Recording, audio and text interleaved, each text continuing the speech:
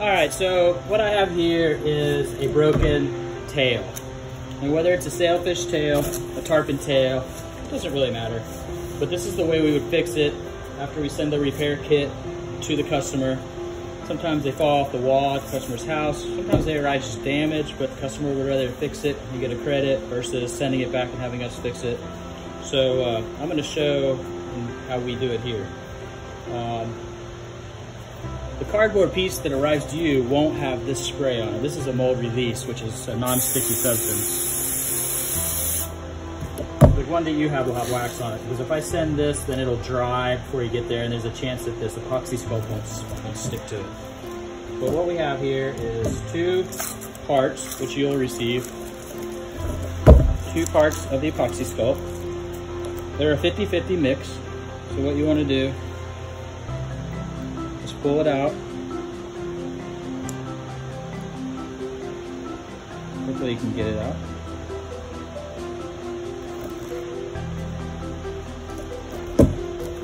And pull out two equal parts.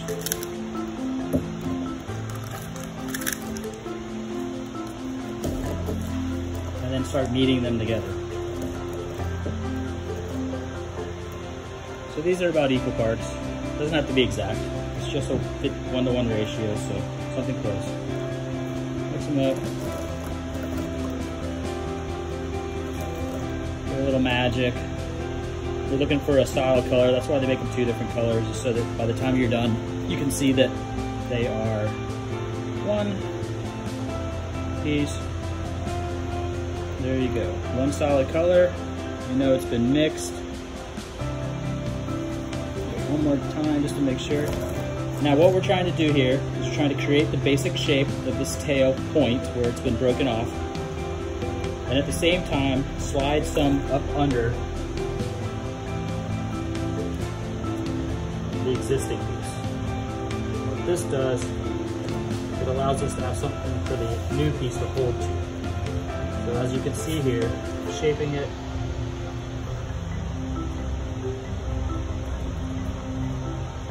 give it its shape. You want to try to make sure that it's about flush with the existing edge. You don't want to have as little amount of edge as you possibly have, even though we'll be able to sand it. Pretty much probably any fisherman or person that's getting this will have a little knife. So we use paring knives here. They work really well.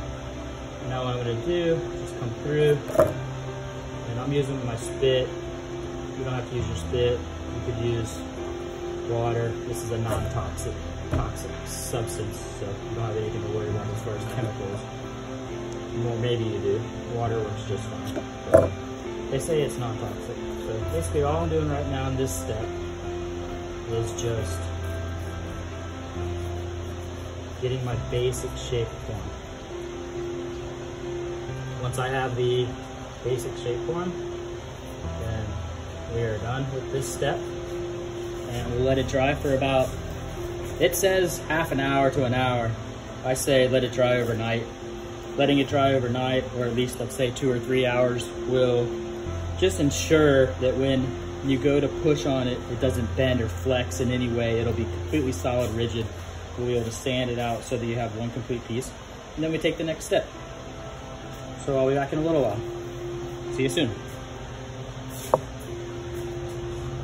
All right, so I just spent five minutes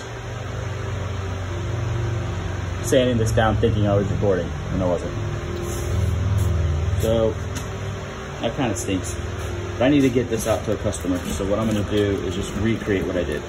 You're gonna have all of your base here. You're gonna have all, it's all gonna be raised up and where you had shaped it. You're gonna have edges on here. What you do is you come through sand, sand, sand, sand, sand, sand, and then you wanna taper it on the sides taper, taper, taper, taper, taper down, you'll have like a square here and you want to continually sand with your 80 grit on an angle. Sand, sand, sand all the way to where it's tapered so that when you look at it, you don't see a big block here. Trying to create an angle. Do it on both sides. Sand, sand, sand, sand, sand. So that you're shaping it and you're taking off your hard angle. You don't want to sand underneath the tail part that's still there, the actual part that wasn't broke. You wanna make sure that that piece is connected because that piece is connected to this piece. So this piece is connected to this piece and that's what gives it its rigidity. Now when you sand the top, because you're gonna wanna sand it and make this all flip, you wanna put your fingers under here like this. You wanna sand, sand, sand, sand, sand. When you're sanding, you'll start to see that where you're sanding becomes light, your reliefs or your valleys will be darker. You are wanting to get rid of all those reliefs and valleys so that you have a smooth, even finish. You can see here where I've already taken the time to do that. The time was probably, took me probably three, four, five minutes to get it all the way to where I feel comfortable with it. You can fine tune it as much as you want. Everybody has their own personal preference about how perfect it needs to look. When it's up on the wall, 8 to 10, 12 feet away from you, you're not gonna be able to see any little minor reliefs or valleys that you didn't sand out. All right, and so the next step that I failed to record the first time, which I'm gonna show again, is where your epoxy sculpt meets your paint. You wanna come in here with the 180 or 220, depending on what we sent you. And just do fine, fine circles. And basically what you're doing is taking your edge off of here, so there's no edge. As you're doing that, you'll see the paint that's connecting to the epoxy sculpt start to disappear. You'll see your gel coat start to show up, which is the white, the gel coat. And you're basically just trying to make it so there's no lip or no edge. And so when you run your finger across it, you should feel nothing. Now, if you feel just a little something, it's all right. Again, it's gonna be up on your wall far away. You're not gonna notice really that much. But if you really wanna get super technical, if you look and see the dark paint still versus the sanded area, that's the area that has not been sanded. So you wanna work that area. And try not to go too high up the tail because the farther you go up, the more paint you gotta use. All right, so I'm going to go ahead and airbrush this. We send the paints out to you. Most people don't have an airbrush to their house, so you're just gonna use a small brush of some sort to apply it. The normal steps are silver, and then if there's a color that's in your tail other than black, which this one has a little bit of teal, which I'll push with the airbrush, and then black. Then I'll show you the technique with a, with a paintbrush too, just so you can see what we would do, or you would do, if you don't have the airbrush capability, but have the paint and some, and some uh, paint pen. All right, so I'll be right back.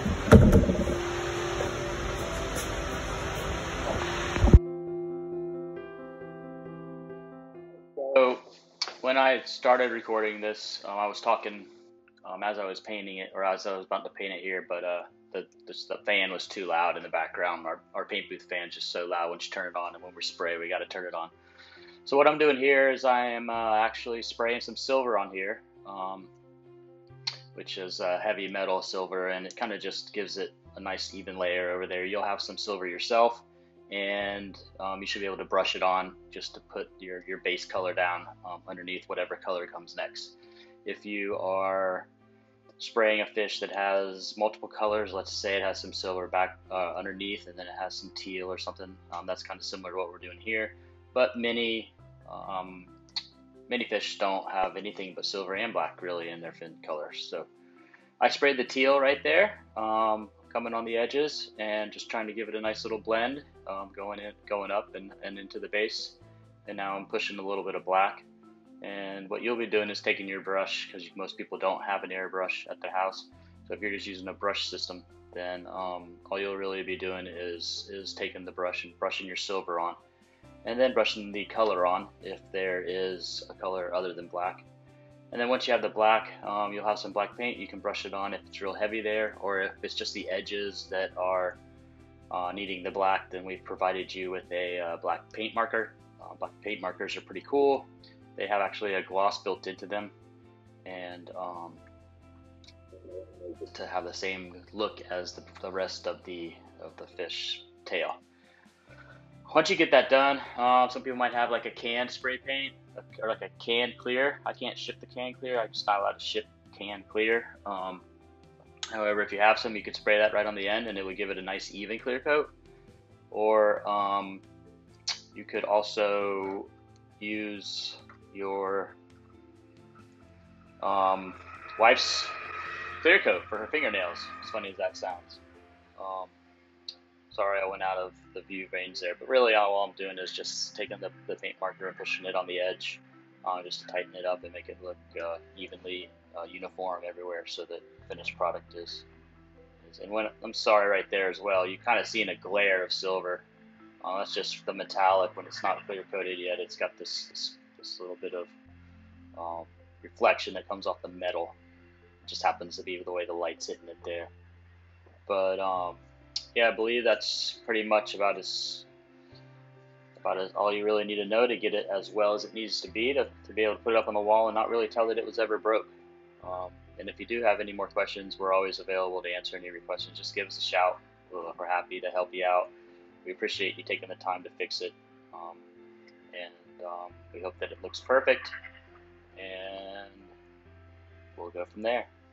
All right, here I am using a clear coat, a spray can clear coat, just to show you the final final step here. Um, we use Krylon. We actually use it for our eyes. We see how it kind of took away the metallic silver layer there that we were getting. And uh, there it is. There's your finished product. I hope yours looks good or if not better than ours. And uh, thank you for watching the video. Take care.